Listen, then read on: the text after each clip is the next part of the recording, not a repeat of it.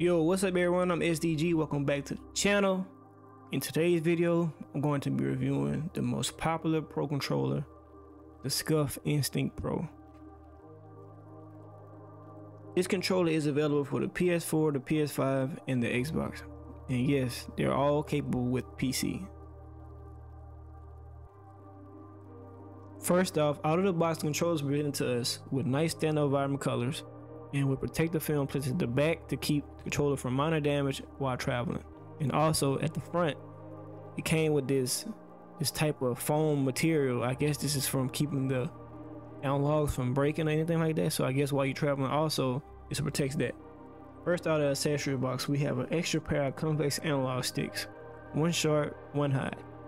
But on my controller, I chose concave. Me personally, I think concave is better because you can actually fit your thumb inside of the stick. But that's my opinion. You guys can choose whatever you want. Look at this thing. This thing is beautiful. This faceplate is themed vandalized. On the website, you can customize more than 20 custom faceplates, included 2019's Modern Warfare Damascus camo. Most important, the best feature about this controller and why I feel the reasons at the top of the list is because of the mouse click triggers. These things are insanely good, but of course it takes time to adapt to them.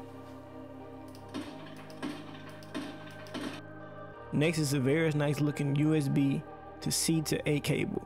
This has carbon fiber look just like the analog sticks. This cable is 6 feet long and I rather game with this cable over batteries to avoid connectivity issues and plus the controller feels much lighter. Now out of the box, it comes with a set of Duracell batteries that I never used, but what the heck. If you don't want to use batteries, use USB-C cable. You can always settle for a battery pack. I got this off of Amazon for approximately $24. For a set, you can't beat that.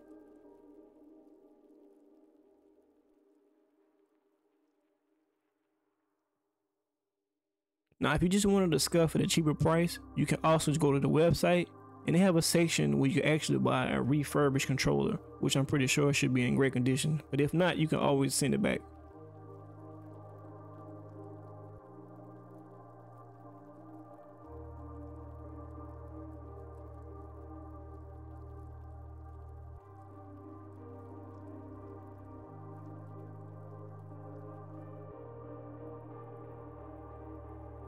And now to the instructions manual.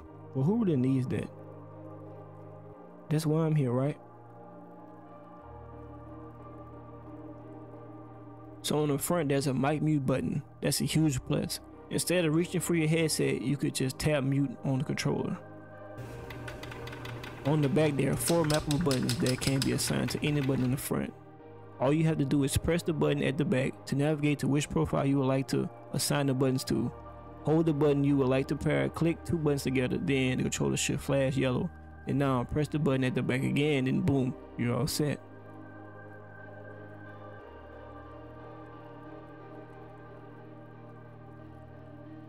To remove the faceplate, all you have to do is go to the side of the controller, grip inside the crack, just take it apart, just that easy, just like that.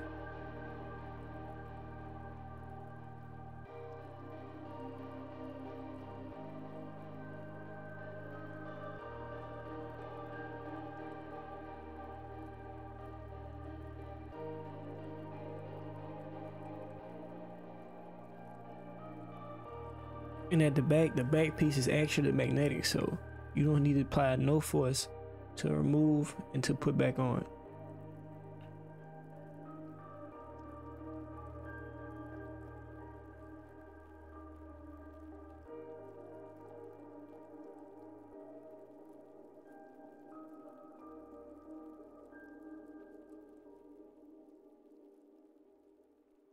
Yo, to sum everything up, I think this is an awesome controller. Would I recommend it? Yes, I do.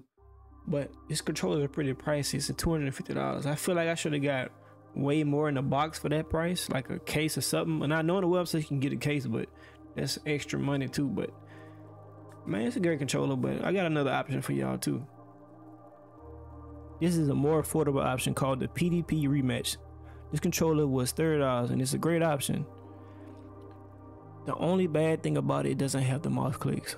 But you can watch the review on this controller that I did months back, right at the top of this video, just click it.